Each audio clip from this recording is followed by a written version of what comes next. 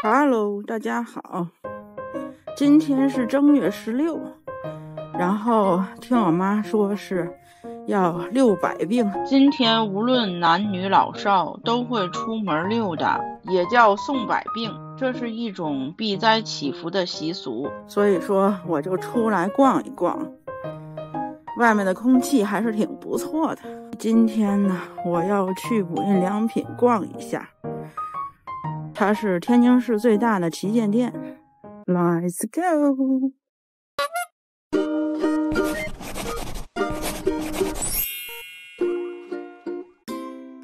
因为前几天有高层因为电动车着火的事情，现在各大居委会都特别关注，然后人们也挺自觉的。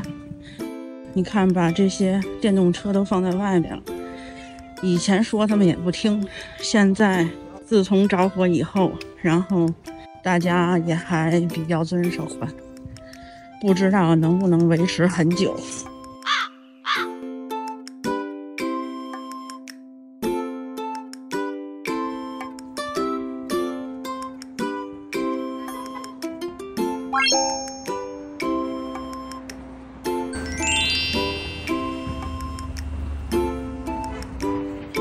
这是 MUJI 中国第七家，天津首家可非饮食休闲娱乐购物一体的大型旗舰店，总面积为三千一百二十三点一四平方米，一共有上中下三层。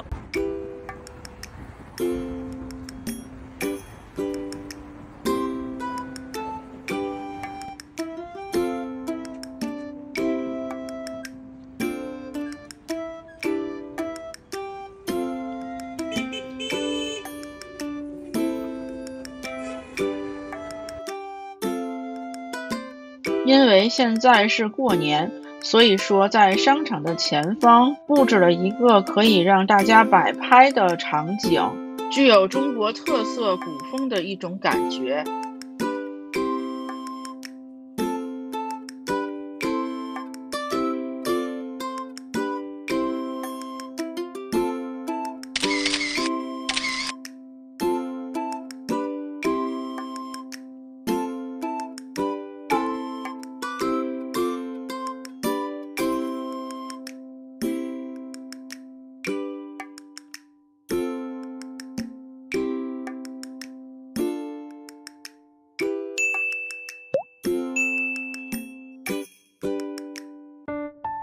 今天咖啡厅的人还挺多的，估计是明天学生们就开学了，所以他们在努力的补作业吧。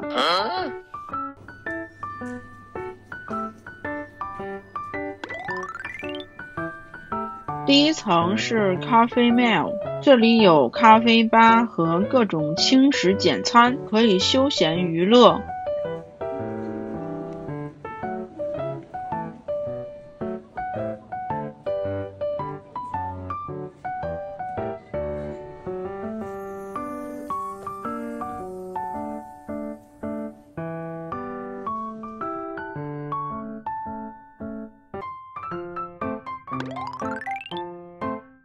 二层是服装、刺绣工坊、儿童广场，这应该是春季的新款。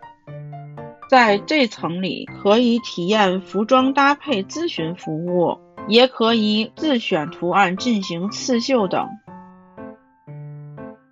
因为它每一层的空间都非常大。所以在整个一层的购物空间里，又虚实结合的划分了各个空间的不同产品。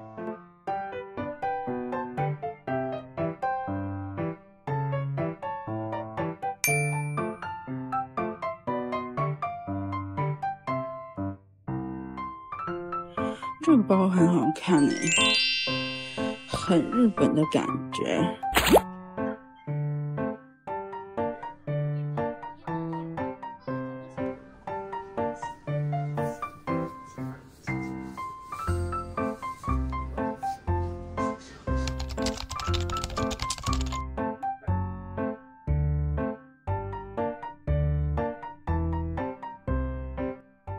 这边是男女通用款，然后颜色比较单一，但是嗯，穿着很舒服，就是很中调的那种。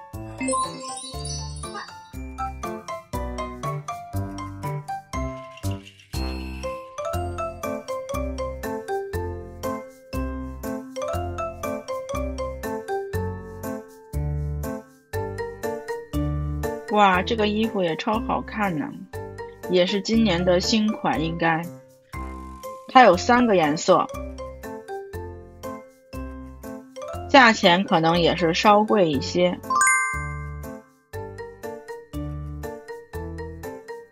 我比较喜欢这个格子的，所以我想去镜子旁边看一下。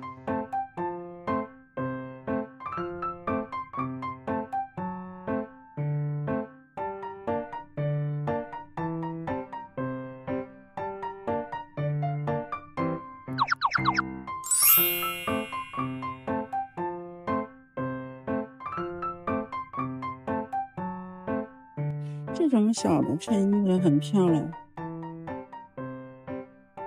无印良品有一种魔力，就是它看着其实挺单一，但是穿上特别好看，而且很百搭，也很舒服。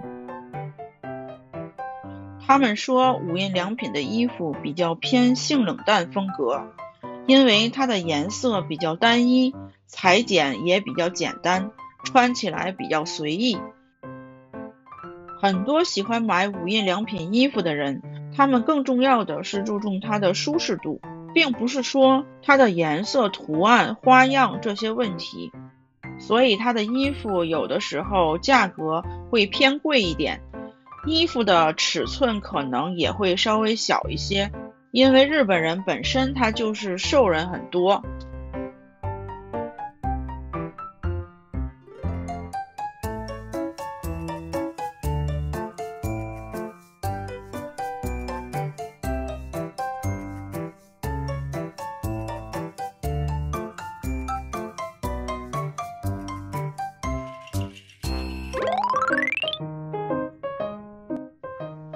三楼是购物区，这里的货品类型很齐全，主要以各类家具、小家电、床品、彩妆等生活用品为主。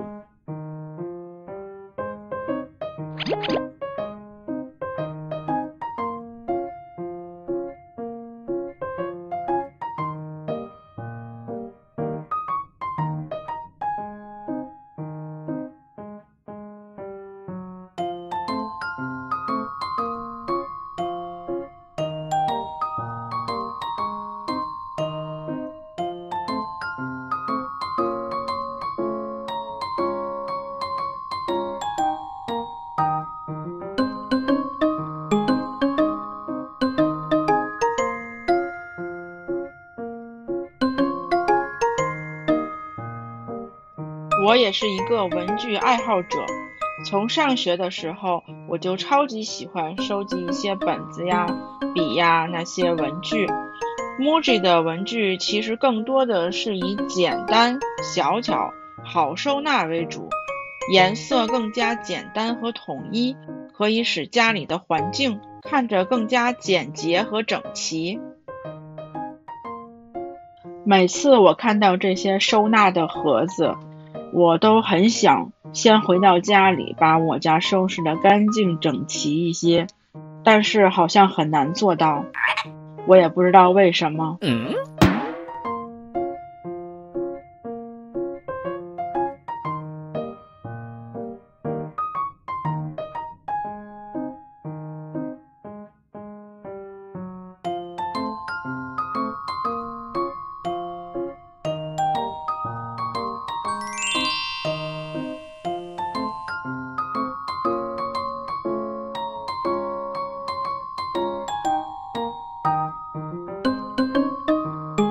在 MUJI 简约设计的风格中，加入了更多中国的元素，在材料上也运用了大量的土木等自然元素，形成了中西交错的空间设计感。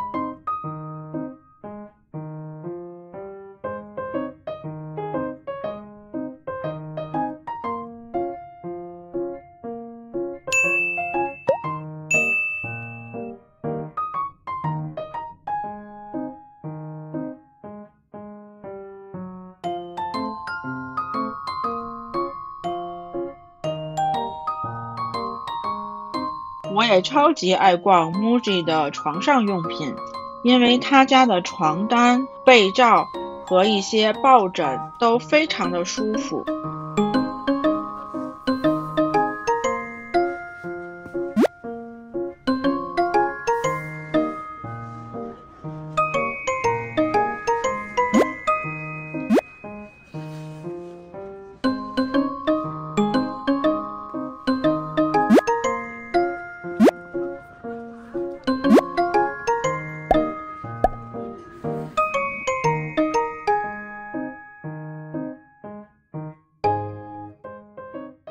我个人觉得，MUJI 还是比较适合中青年和小资的人群，因为可能他们更可以接受新鲜事物，追求更加自然简洁的环境，更大程度的可以把空间利用起来。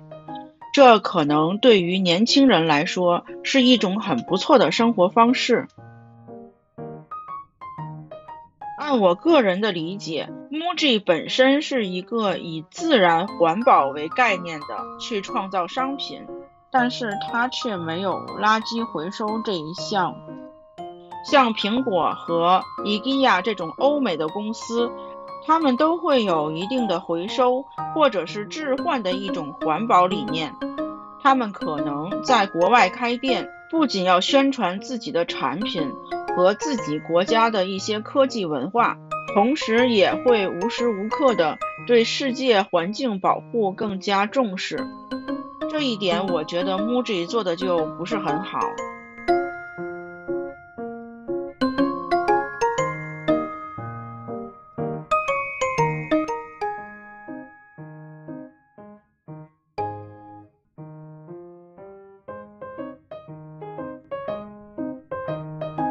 这里有很多的印章图案，你可以自己 DIY 一些图案或者是祝福，然后把它印到你在 MUJI 买的本子里。